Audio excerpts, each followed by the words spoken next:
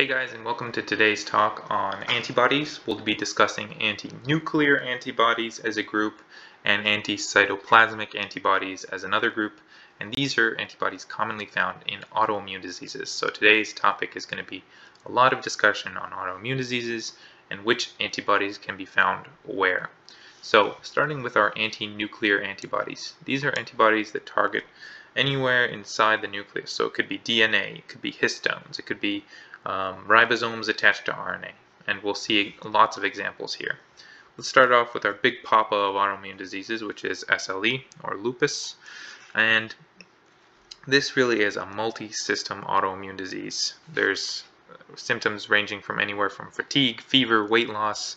You can have arthritis, malar rashes on, on your face, Raynaud's, uh, photosensitivity, oral ulcers, telangiectasias, and the list goes on and on and on. So you have here a antibody that attacks, in this case, a complement. So when antibody attacks complement, you have dysregulation of the immune system, the lymphocytes aren't sure what to do, and they just start going crazy and attacking everything. And really, it's a mix of two things going on, both a type 3 and a type 2 hypersensitivity reaction. The type 3 is where antibody and antigen come together, and these really like to deposit in the skin, the kidney, the joints.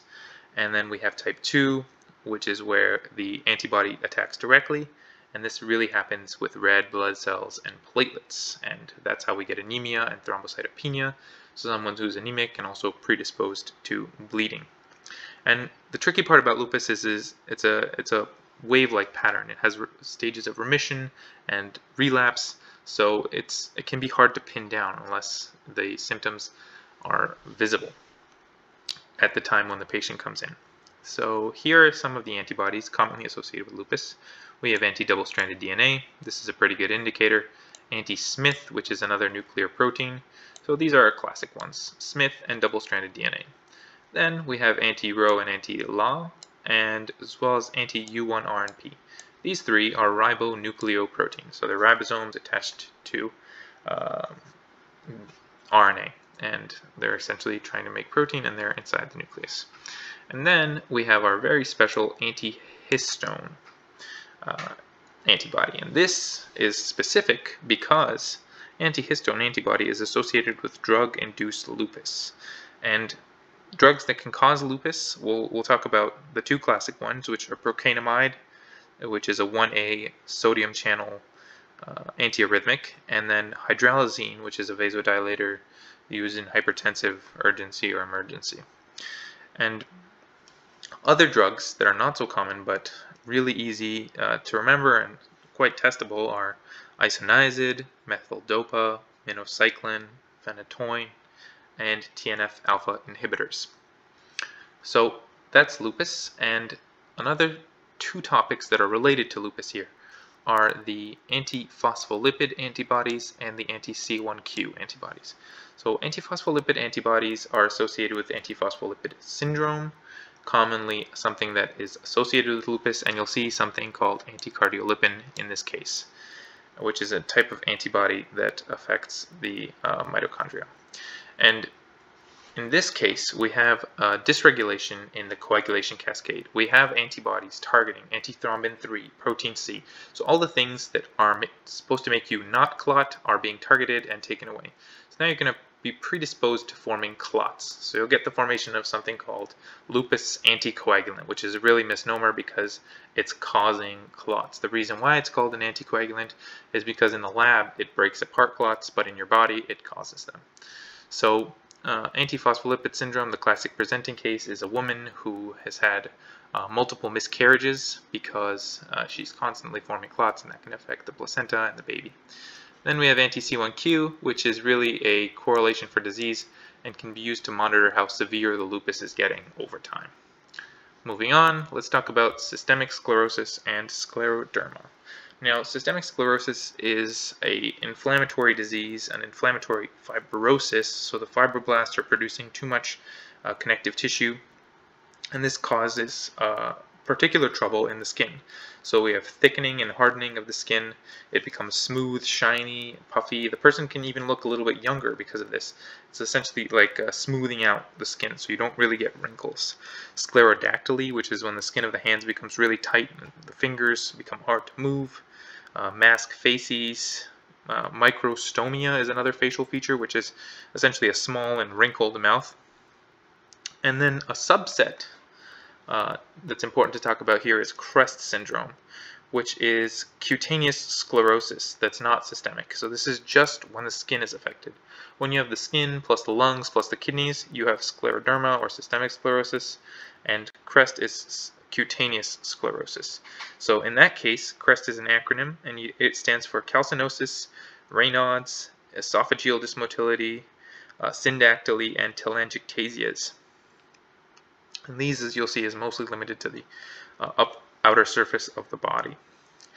Antibodies here that we look out for is anti-SCL70, which is also known as anti-topoisomerase 1, and also anti-centromere. Now, if you're looking for CREST, you're going to be looking for anti-centromere. This is more uh, cutaneous sclerosis. Now, if you're looking for a systemic sclerosis, you're going to look for anti-SCL70. So it's important to differentiate those there. And anti-RNA polymerase 3 is also associated with uh, CREST. Really, uh, I would remember anti-centromere and anti-SCL70. Next, we're going to be talking about Sjogren's. Sjogren's is a autoimmune disease against uh, excretory glands, and particularly the salivary glands. But you have three main things that are affected. First, you're going to get dry eyes, then you're going to get dry mouth, and you're going to get a dry vagina. So dry eyes, the person will have red, irritated eyes. In the mouth, you'll likely see dental caries. And with the vagina, the main complaint is dyspareunia or pain during sex. And here again, we have the anti-Ro and anti-La ribonucleoproteins. And it's important when we get panels here to get all the uh, antibodies so that we don't accidentally mistake something like this for lupus where we would also see anti-double stranded. So that's why the panel contains multiple uh, antibodies because some of them share features as you see here. Okay. And correlating factors is anti-CCP and anti-rheumatoid factor. Uh, these are present. See, you can see rheumatoid factor is also present in polymyositis, dermatomyositis, and mixed connective tissue disease. Um, next, let's move on to polymyositis and dermatomyositis. These are inflammatory diseases of the muscle and polymyositis really is affecting the proximal muscles. It's a cell-mediated uh, autoimmune disease while dermatomyositis is affecting the proximal muscles plus the skin. And this is an antibody-mediated disease, so watch out for the pathophysiology because they're different. And also dermatomyositis often has an underlying cancer association. So for dermatomyositis, look out for the heliotrope rash on the eyelids, the cutaneous papules on the back of the hand. Often there's also sclerosis on the back of the hand, so they're called mechanics hands. And um, you'll want to look out for anti-Jo1 and for uh, polymyositis and anti-MI2 for dermatomyositis. So watch out for this because the anti-MI2 is more dermatomyositis focused. Then we have mixed cutaneous tissue disease. This disease is really a combination of lupus, systemic sclerosis, and polymyositis, so difficult to pin down, but the antibody will help us. The isolated U1RNP elevation is going to help differentiate it from any of those. So you won't see the other antibodies, just the U1RNP. Next, let's move on to cytoplasmic antibodies or ANCAs. So these are anti-neutrophil cytoplasmic antibodies. So you'll see these in N, stands for neutrophils. You'll see these in neutrophil samples. C ANCA stands for proteinase 3 ANCA. So you can remember C and 3 kind of rhyme. And P ANCA stands for myeloperoxidase antibody or MPO. And how I remember that is the P reminds me of P ANCA. Okay, so with C-ANCA, you're really thinking about one disease. It's Wegener's, or granulomatosis with polyangiitis. And in Wegener's disease, you have necrotizing formation of granulomas that are going to affect your nose, lungs, and kidneys uh, primarily. So you'll have rhinitis, pneumonia, renal involvement, glomerulonephritis. And the treatment here is really steroids with a combination of either methotrexate, rituximab, or cyclophosphamide to help combat the autoimmune portion of the disease. And next we have P-ANCA. So P-ANCA, you have two choices here, not just one. You have microscopic polyangiitis, which is a small vessel disease, which in contrast to Wegener's, it's a medial, medium plus small vessel disease. And then we have Churg-Strauss, which is associated with eosinophilia.